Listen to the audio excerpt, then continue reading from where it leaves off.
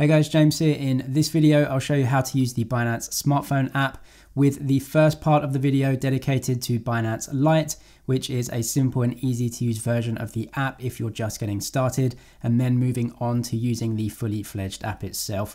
Binance is the world's largest crypto exchange and offers amongst the lowest fees for trading crypto. I'll show you how to get set up on the app, what you'll need, and then show you how to deposit and withdraw funds, and then buy and trade crypto on the app. If you need a more in-depth video, I'll leave that one in the description next to the timestamps for this video. And if you want to sign up for Binance, I'll leave that link in the description as well.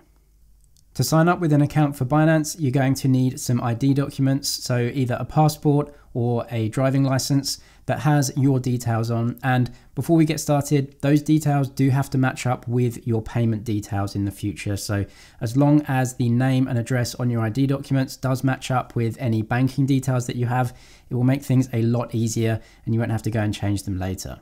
To keep this video short, I won't go through the sign up process as it's fairly self-explanatory. You will just need those ID documents and you can set up an account with your details on Binance just following the instructions when you sign up for a new account. Once all of your information is with Binance and they do open your account, which could take a little while, then we come to the main page. And what I'm going to do is actually come up to the top left, but I'm actually going to go into Binance Lite first. You can actually press this toggle and then go into essentially a beginner's version of the app because Binance is pretty complicated to be honest, but Binance Lite really takes out all of that complexity. If you want to buy cryptocurrencies with fiat currency. So if you have US dollars or pound sterling, then that's really what Binance Lite is for, and it's a lot easier to get into. Firstly, what I'm going to do is come over to our wallet. The wallet will just show you all of your holdings. If you've got, you know, 30% of Bitcoin and maybe 20% of Ethereum, that will all be shown here for you.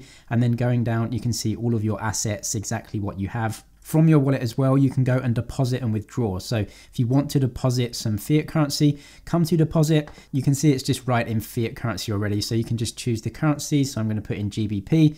If you want to put in USD or AUD or whatever, just click on that right there. And you've got a couple of options in Binance. Firstly is actually using your bank card. So if you have a debit card, the other is a faster payment, which has to be a bank transfer. If you click on this one, it will go through and you have to put your bank details in you can see that faster payments is selected and then as we come down you can see just choose how much you want to transfer. As you come down and confirm your deposit, Binance will actually pop up a window with their banking details. They'll give you their sort code, account number, and other information depending on which country you're in. Most importantly, though, they'll also give you a payment reference number. So when you go into your banking application, you'll have to put their banking details in and then put your reference number as a memo with the payment so they know where to put your money.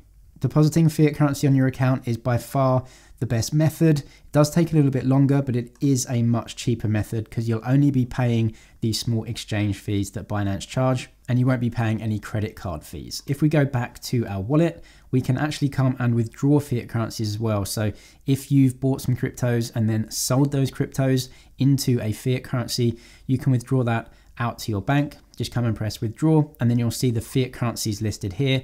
I have pounds. If you're in a different country, you will obviously have your currency right there if it's supported. And then what you can do is choose to withdraw that fiat currency, choose the payment system, either faster payments or a bank card, how much you want to withdraw right here, and then go through and continue. That will confirm your bank details and also send you an email and other security protocols to go through and confirm that payment.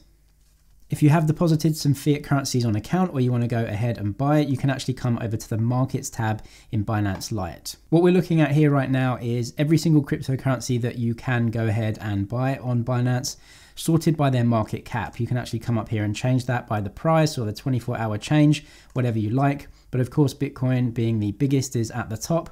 So what we can do right now is just click right into one of the cryptocurrencies. And what you'll see is just a really simple overview of the actual cryptocurrency. So we have the price of the crypto at the moment valued in US dollars. And then we have the chart of the crypto over given periods. This is a one hour chart, but you can change this maybe to a one week chart. And then what you can do is actually touch this. So let's just go back to the one day and you can touch the chart in a specific area. Just hold down and you will see that it will tell you the actual time that you're looking at. And then you can see in the top left, it actually changes the price because what we're essentially doing is knowing exactly what the price was at a given time. So in this instance, 5.39 in the morning, as you can see, the price was 36,683. This is definitely not the most in-depth charting software and it's really an overview rather than giving you much more information than that. This is only Binance Lite. The full version of Binance, which we'll get into later, definitely has a lot more information that you might want. In the crypto screen though, you can see the latest news for this specific cryptocurrency right here. And you essentially have two options, either convert or you can press the trade button here. We'll click on trade right away and as you can see takes you through to a very simple screen. What we're doing now is buying crypto. You can switch to sell right here if you want but right now we're obviously looking at Bitcoin and then we are choosing a currency to pay in. If you click here it will bring up all of the list of fiat currencies that you could possibly use. I've got some pound sterling, so that's fine by me. I'll just swipe this down. Then what we can do is just choose the amount that we want to buy. So we can put in an amount right here. Now what we're doing is spending 25 GBP and buying whatever amount of Bitcoin that that will give us at the current exchange rate. You can also change this round though by clicking this. We can choose an amount of Bitcoin. So I'll just type 0.05 like this then we can go through and press buy and it's going to give us a few deposit options. So if you have deposited some fiat currency already, you can actually go ahead and use your cash balance if that is in your account. If it isn't, it will ask you that you might want to pay with card. So you'll put a card in, either a debit card or a credit card. But like I said, credit cards for sure are a much more expensive way to actually go through and buy. And there will be extra charges on top, so it's not recommended. Down here at the bottom, you'll see how much you actually need to spend to buy that amount of Bitcoin. Then you can go through and confirm that and input all of your payment details. Another option though is to convert. So we'll come out to the main page once more and we'll use the quick toggle in the middle right here. So we've gone through buy already. That will take you through to the crypto page. Selling is of course the exact opposite of that. We'll get onto depositing in a second, but you may want to convert cryptocurrencies between one and the other. So what this can do is actually sell one crypto to buy another. So let's say we bought some Bitcoin, but we actually want to sell some of that Bitcoin and put it into Ethereum. Well, you can do that. I can actually go max on account right here and choose any amount of Bitcoin. And what that will do is just swap it right into Ethereum. If you don't know how much Ethereum you want, you can definitely leave it blank. Go through to preview conversion. It's essentially going to get you an exchange rate and then it will show you how many Ethereum or any other crypto that you choose you can actually get and purchase with the amount of the other crypto that you're selling in order to buy the secondary crypto. If you want to go ahead and refresh or go ahead and trade and convert, just press that one and then it will do it for you. Lastly, on Binance Lite, we can come and deposit some cryptocurrencies into our account. So if you have another account or if you have a friend that wants to transfer some cryptocurrencies to you, you can actually click on deposit and then you'll have to go and choose the cryptocurrency that you want to deposit. So you can click on crypto and I'm just going to search for BTC. Then what will happen when you click this is it will show you your Bitcoin address that you have at Binance. If anyone wants to send you any Bitcoin, you'll have to show them this address. You can see there are a few different addresses right here. You have to choose BTC if you're accepting BTC. Someone else can scan your QR code if they want, if they have a smartphone, or if they don't, you can just copy this address and give that to them, and then they can withdraw or send from their application and then send you crypto to your Binance Bitcoin address. For most people, actually, this will be enough, and I think Binance Lite is a very easy to use platform. We'll come over to the Binance application, which gives us far more professional tools and a lot more options in terms of really being specific about what we buy and when. Firstly, you can see that the homepage has definitely got a lot more going on. You can see a rankings list right here. So top gainers and losers, you can definitely sort them all and have a look around. What's great about the Binance app though is really these options right here. So we can actually go to more and then this is pretty much everything you can do in the app. We've already seen in the Binance Lite version how to deposit, and to be honest, it is exactly the same. Just find the actual currency, whether that be a cash currency or a crypto that you want to deposit, and then go through and do that deposit just like we saw with the Lite version. We also have the convert feature in the Binance app, which is more or less exactly the same as the Lite version as well. But in the but in the Binance app, we have extra options. We have a spot market we can trade in, we have margin, futures, peer to peer, and we have stock tokens as well. For this quick tutorial, I'm just going to focus on spot trading. Spot trading is the open cryptocurrency market. So if you want the best prices possible, then you'll want to trade in the spot market. We can actually get to that through a different method though. We can come down and press on the markets tab right here, and then we can go over to spot. Now, if you have any favorites, you can actually favorite them here and they will be listed here. So you can look at your favorite cryptos or the ones that you trade very often. But let's come over to the spot market right now and we'll come over to fiat currencies right here you can use the search bar up here to search for any crypto that you want to trade. But very easily, you can see that US dollar tether markets right here. So the fiat markets, we can see all of them here and the biggest cryptos that are trading right now, we can choose them. So I'm going to come over to US dollar tether and Bitcoin. I'm going to click on this just to show you. So what this is right now is the Bitcoin US dollar tether market and we see some much more professional tools. I'm not going to get into what these tools are right now because I have other more in-depth videos going over that, but this is what traders would look at when they are looking at buying an asset. So really simply right here, we can see that the price of Bitcoin against US dollar tether right here, some extra highs and lows, so good trading information. And we can see the current order book. So these are all the orders that people actually have in the market. Very simply though, what you can do is just press buy or sell, and then you can input your orders. If you have a fiat currency, then you may want to actually use a stable coin to go ahead and buy other cryptos, because that's what we usually do, using a stable coin as the secondary currency in the pair. If you don't know how to do that, we can actually go back and what you have to do is find a fiat currency and then trade that into a stable coin.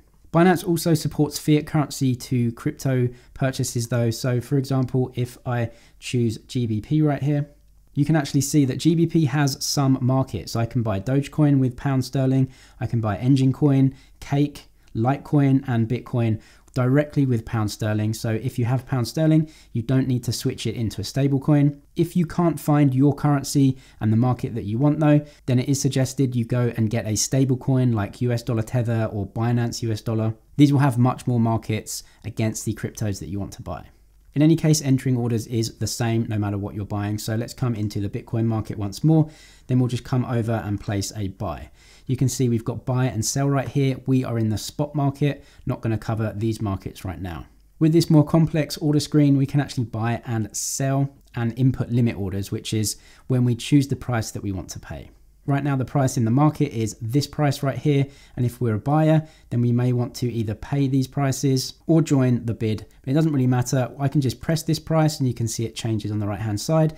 And then I can change the price that I'm willing to pay. So if I want some cheaper Bitcoin, I can reduce it like this, then choose the amount that I want to buy. So I'm just going to put 0.005, press done, and it will show me exactly how much that I need to spend because we have the amount of Bitcoin I want to buy and the price that I'm willing to pay. So it just does that very simple calculation for us.